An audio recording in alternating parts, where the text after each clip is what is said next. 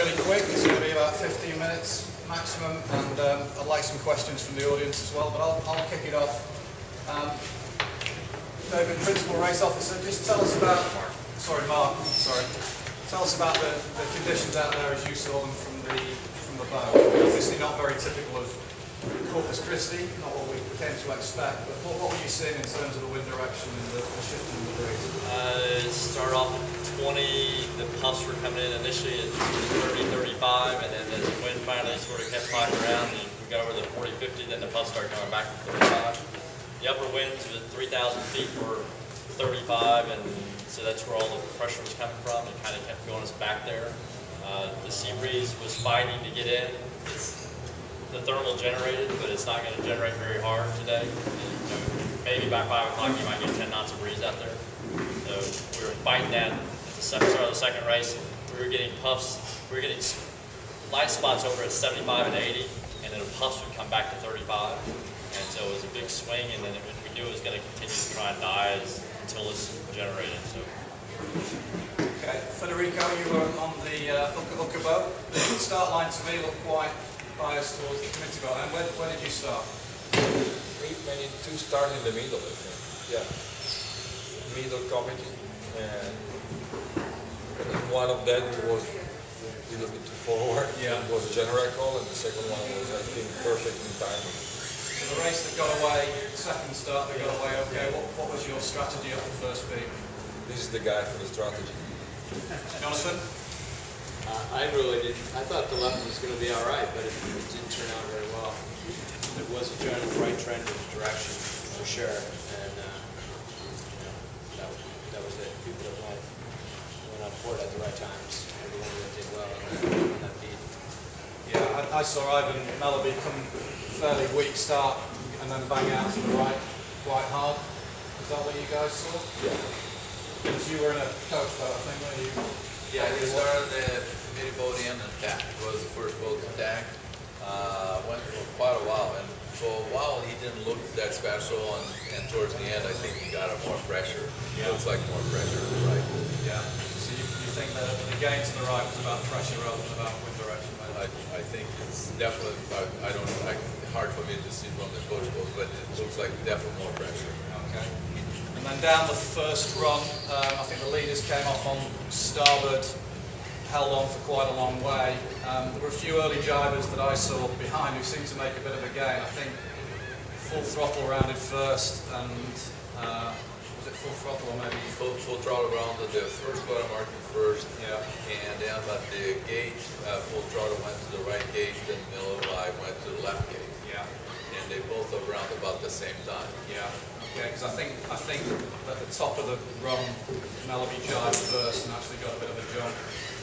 Which could have been just a little bit of local pressure. But Jonathan, Federico, that first run, Yeah, you said it right there, local pressure. It was really hard to see. You can't really see the wind at all.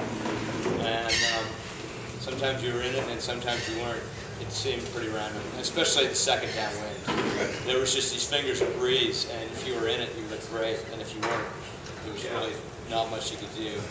Certainly by that by that second downwind, the breeze was starting to die. But just go back to the to the gate mark, and it seemed to me the bulk of the boats went to the right hand mark as you're looking at wind. Um, and I didn't really see what happened then. Did, did people tend to stay out to the right, or did they come back across the course? Well, it appeared to me that like uh, they had a breeze near the shore. It was over there. He's coaching the, the hedgehog team, and, and he he noticed the breeze like being filling in from the shore first, and, and uh, was a lot breeze, a lot of wind near the shore, and was also breeze in the in the left side looking down. And so the middle was was really a no man's land. So you didn't go to one pressure or the other. Know? And so the guys that kind of went to the sides, they all did well. So there was no nothing- pressure. The guys in the middle. So there were no gains to be made in the middle of the course, okay. Kristen's here somewhere. Is she? Is she gone? It's right here. Oh, she's right here. Kristen, you um, had a difficult start and made some gains on the first run, but you made quite a lot of gains on the second beat, I think. What, where did you go second beat? I'm not sure where we went. You Charlie might, here. you might ask him. Charlie. Where did, did you take Kristen on that bit? Yeah, I think you pretty much had it described. We we fought for uh, downwind left mark there, came around, and uh, most of the boats stayed on port. And I'd say for the first half of the beat, the guys that were a little more to the left were sort of shearing off, but then they would always cave and it would go light again. It was kind of like the angle was a little better left, but there was gradually more pressure to the right. And so after about half the beat, people pretty much had it figured out, and everyone was, you know, when they when they get in the puff, we'd all tack and go back left towards the mark, and then when the breeze would cave and we'd fall out of the wind, everyone would make tacks back to the right and go to the right, and then and pretty much everyone was tacking in sync pretty much up that whole second beat. But over the course of that, as we got closer and closer and closer to the weather mark, then the last righty kind of won out, and the guys that were down low ended up in less wind.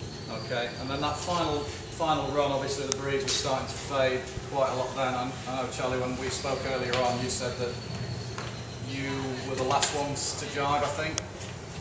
Yeah, everyone came around and jibe set, and uh, but basically we were all just sailing into less and less wind, so it's just total luck on our part. I mean, it's completely random.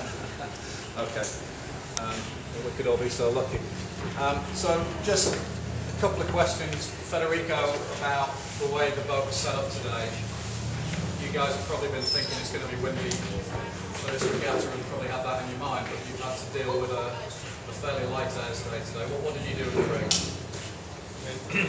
the, the, this is unbelievable and this happened many times in the past. Also you're working all season thinking in corpus and fighting with 25 knots and then days like that happen and also yesterday.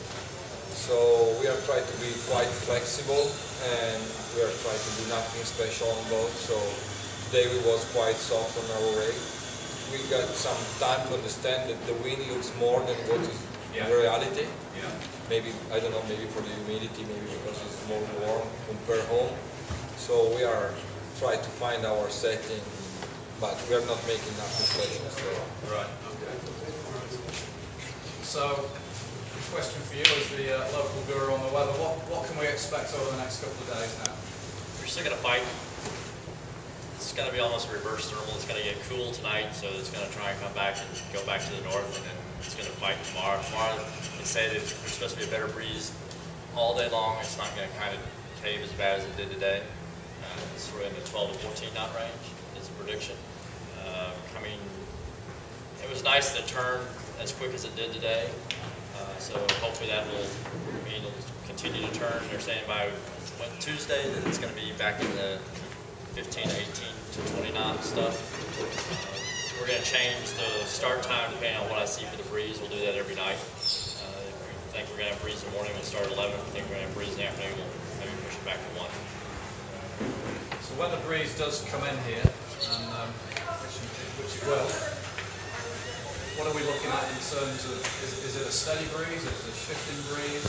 doesn't shift a lot, and it, I mean, it- it'll move from sort of 120 to 145, or from 150 to 120, but it's not, it's not gonna bang back and forth, it's gonna, in a beat, it might change five, you might find some small shifts out there, but in general, it's gonna stay within five degrees of wherever the, the gradient is, and a lot of that has to do with the upper air and where that's coming from. Okay, and no particular tidal influences in this bay? The only tide's wind-driven, only current is wind-driven uh, current. The tide in the bay, if you've been here enough, fluctuates by about a foot. There's uh, really main ship channel which goes out, and then there's another factory channel which lets water in, and really doesn't have a circulation pattern as you would in the San Francisco Bay. And so it doesn't have enough, there's not enough breeze right now to start the current, and even if when there is a current, it's about a quarter, maybe three tenths of a knot, and it's consistent over the course of where y'all are sailing. So, Any current's gonna be there, it's gonna be consistent from left to right, Okay, up and down. all right, thanks. So Vince, um, I think you're heading home tomorrow, right? Are you here for the week? No. Okay, so let's, uh, let's ask you a couple of questions while you're here. So given a uh, 20 to 25 knot day, what, how would you be setting the boat up? yeah, several guys here that knows a lot better than how to set up a boat than I do, but, uh, Context on you. of course, yeah. Of course, is, uh, the, the, the quick thing that people have to understand is that like a big difference from the days that I was sailing, now it's a lot, is that the boats are sailing a lot flatter than, than we used to.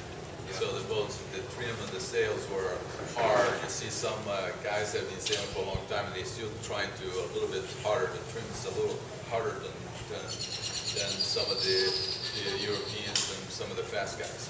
And so it's, to me, it's critical to sail the boat flat than more like a skiff, like a 470 or something, more, more of a faster boat.